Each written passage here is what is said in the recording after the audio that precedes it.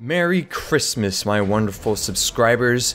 Welcome to another video. My name is Smarty771 and today I'm going to be talking to you guys about why I believe the Heavy class is the best one in Star Wars Battlefront 2. In no other class are you able to whip out a sentry gun and rain out death against the enemy.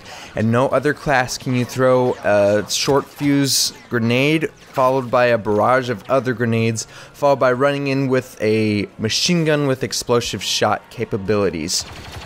The Heavy is actually literally the best class in the game, and if you disagree with me, you're a communist.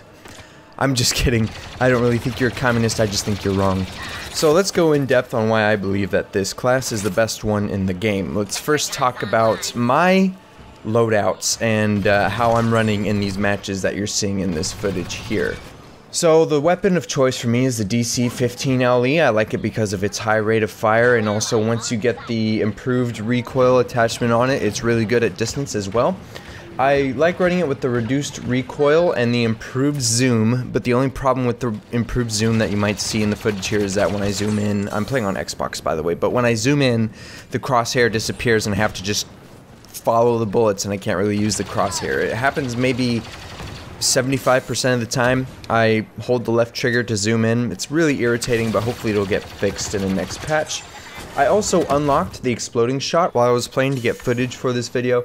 Uh, the explosive shot is nice, except I really didn't notice much of a difference in the time to kill. Uh, it pretty much increases the damage of each shot, but I think that over time you're still going to do the same amount of damage as if you just didn't have that attachment on there. It might be good to knock out people that are already low on health, but as far as taking out people or how long it takes, I really did not notice that much of a difference, and I think I would be able to notice since Heavy is my main character.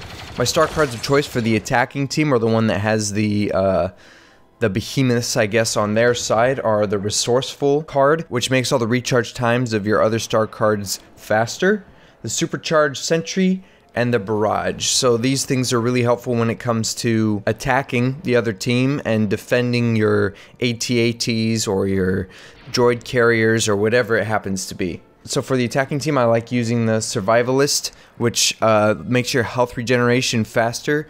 Um, I don't really have a reason for picking resourceful over survivalist or one over the other at any point. Uh, they both have their own uses.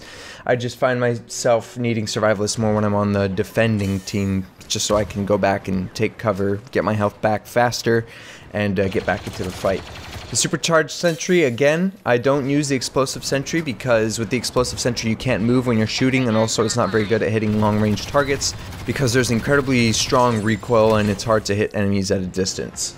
And I also use the ion turret to take out the enemy's behemoths. So whenever they're able to be hit, I just throw it down and uh, get some PTFO points from that.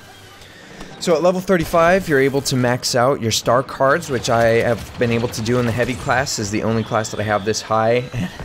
Because of this 1.5 times XP event that's going on, I was able to grind and get up to almost level 40 really fast and easily from about level 25. So imagine that you are the heavy. You're running through the battlefield with your rifle with explosive shot and reduced recoil letting you hit anybody at any distance. You see many of them down a corridor, so you just pull out your sentry, whether it be the normal one or the supercharged or even the explosive, and you just take out three or four of them before that runs out. Then you toss a impact grenade and then you shoot a barrage in there and get even more guys. I tell you, the Heavy is awesome because of the amount of area damage abilities it has, from grenades to the sentry to exploding shot. The enemy's really going to have a bad time when they find themselves on the other side of your barrel.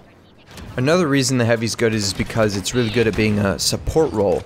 That is, either pushing front, flanking, or staying in the back. It's good in any of those positions, but it's good at laying down heavy volumes of fire to keep the enemy from pushing into uh, hallway or down an alley in Kashyyyk or something like that because when enemies see or when anybody sees the sentry fire coming through or sees a big flurry of grenades that's going to slow down the enemy's advance considerably at least for maybe 10 seconds and let your guys either flank or set up a defense which is what you're trying to do.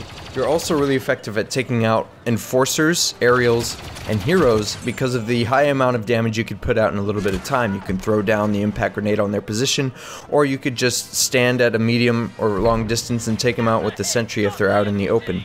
I found this on Naboo to be very helpful. I was able to take out a few heroes with the uh, impact grenade. I was able to whittle down the health of some strong enemies with the sentry, and make them fall back and take cover, which took them out of the fight for just a few minutes, which provided my team with a, the benefit they need. Other classes like Officer are able to rack up lots of battle points and are able to support the team like Officers should with their battle command and with their turrets and they may not be that good at putting out damage but they're really good at empowering other players to be effective fighters. The Assault's really good at moving quick and flanking and uh, pretty much poking and jabbing at the enemy and the Recon or the Specialist class is good at hitting enemies from a distance. So that's where the heavy really shines is because it's able to either short, medium, or long distance it's able to outgun every class pretty easily. If you're in a firefight with a heavy, chances are you're going to lose. Unless you're running Vanguard in Assault or, can't remember it off the top of my head, or the one thing with the specialist that they're able to pull out that three-shot rifle and run really fast and take out enemies that way. But in any other case, you're pretty much going to be able to outshoot any other gun and uh, some guns may have higher damage output than the heavies, but with the volume of fire, able to put out the most amount of bullets before you have to discharge the heat on the heavies weapons. I highly encourage you guys to take advantage of this 1.5% XP so that you'll be able to get all the star cards and get to level 35, which is the level you need to max out the star cards so you can really be competitive.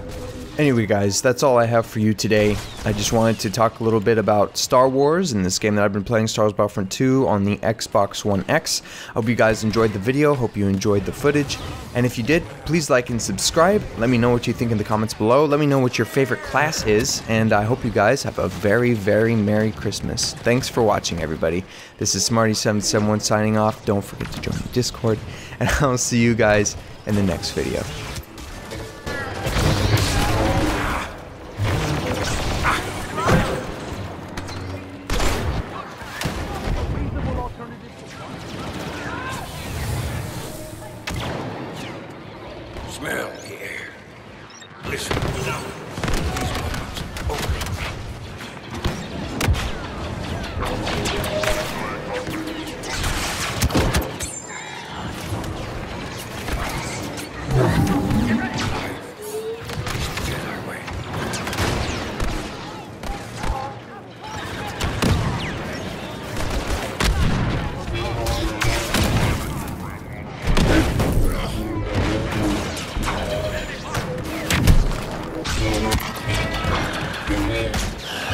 Yeah.